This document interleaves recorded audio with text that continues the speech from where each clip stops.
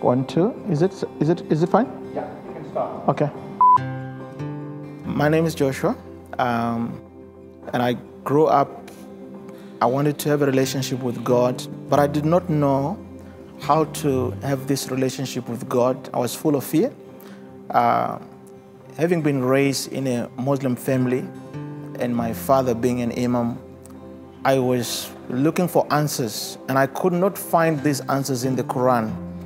Um, because in the Quran, uh, there are so many names of, of, of God, but uh, there is not even one that you can relate to as God as the Father.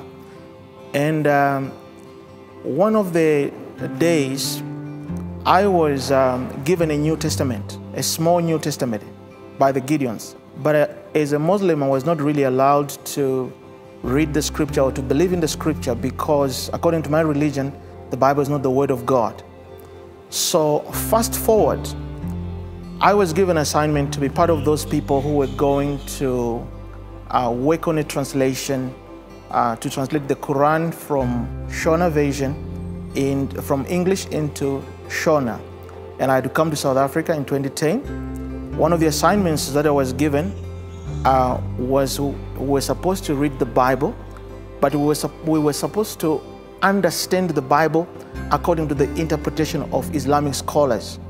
And um, as I began to read the Bible, I found some scriptures that I could link uh, with what the Quran says.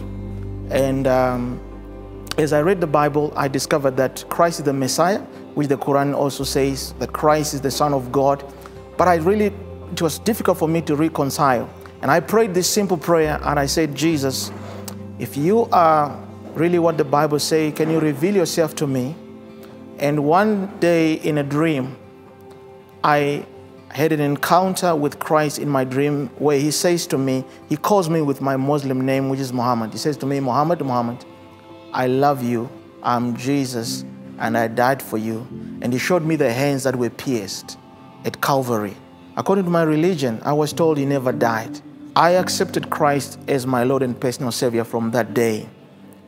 Two miracles that happened. The grip of fear that was upon my life was uh, destroyed over my life, and the stammering problem that I had was removed from my life. And from that day, I began this journey of walking with Christ, and uh, uh, He became my Lord and personal Savior of my life.